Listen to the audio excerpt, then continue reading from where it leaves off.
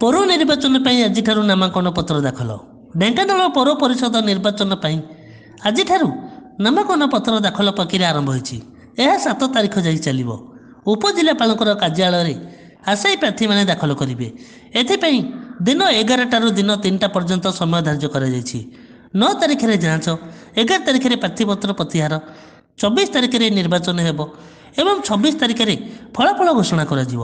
ସୂଚନାଯୋଗ୍ୟ ଦୁଇ ହଜାର ତେରରେ ଢେଙ୍କାନାଳ ଶେଷ ଥର ନିର୍ବାଚନ ଅନୁଷ୍ଠିତ ହୋଇଥିଲା। ତିନି ବର୍ଷ ହେଲା ଅବଧି ଶେଷ ହୋଇଯାଇଥିଲା ବେଳେ କୋଭିଡ଼ କଟକଣା ସମେତ ଅନ୍ୟ ଅନ୍ୟ କାରଣରୁ ନିର୍ବାଚନ ହୋଇପାରିନଥିଲା।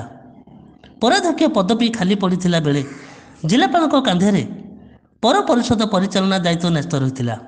ଗତ ନିର୍ବାଚନରେ ଢେଙ୍କାନାଳ ପୌର ପରିଷଦ କଂଗ୍ରେସ ଏଗାରଟି ଆସନ ହାତେଇଥିଲା ବେଳେ ବିଜେଡ଼ି ଛଅଟି ବିଜେପି ପାଞ୍ଚଟି ଏବଂ ଗୋଟିଏ ସ୍ୱାଧୀନ ପ୍ରାର୍ଥୀରେ ବିଜୟ ହୋଇଥିଲେ।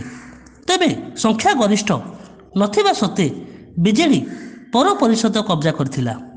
ତେବେ ପରବର୍ତ୍ତୀ ସମୟରେ ରାଜନୈତିକ ହଟଚମଟ ମଧ୍ୟରେ ବିଜେପି ନଗରପାଳ ପଦବୀ ଅକ୍ତିଆର କରିଥିଲେ। ଚଳିତ ନିର୍ବାଚନ ବିଜେଡ଼ି ବିଜେପି କଂଗ୍ରେସ ପାଇଁ ସମ୍ମାନ ପ୍ରଶ୍ନ ହୋଇଥିଲା ବେଳେ ସବୁ ଦଳ ପୌର ପରିଷଦ ହାତେଇବାକୁ ଜୋରସୋର ଉଦ୍ୟମ ଆରମ୍ଭ କରିଥିଲେ ଢେଙ୍କାନାଳରୁ ମହେଶ୍ୱର ସାଗରଙ୍କ ଫୋର୍ସ ପ୍ଲସ୍ ଓଡ଼ିଶା ପ୍ଲସ୍ ଖବର ହିଁ